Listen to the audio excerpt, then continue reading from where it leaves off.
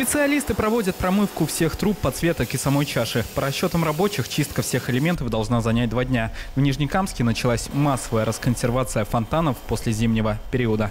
Последующий будет, ну, спустимся ниже, э, подвергаться будут ревизии насосов, 11 штук полностью очистка, ревизия клапанов. Охота сделать, чтобы уж красиво было. И плитка, применяем химию, чтобы известковый на, налет отошел, и плитка была, ну, цвет плитки соответствовал фонтану. Сегодня работа началась в парке имени Габдулы Тукая, в парке «Семья» и в сквере Лимаева. Такой новости жители города оказались, несомненно, рады. В прошлом году толком он не работал, ждали, ждали, когда он это... С внуками приходили, а он не работал. А если он будет работать, это будет очень здорово. И вечером красиво смотреть, он же разными огнями горит. И интересно все-таки. И для молодежи хорошо. Фонтан нужны, конечно, очень красиво. Он ежегодно работает. Ну, приятно ходить, гулять, смотреть.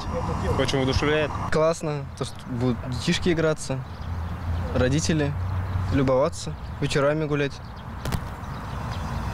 слушать, умир, умиротворение в парках.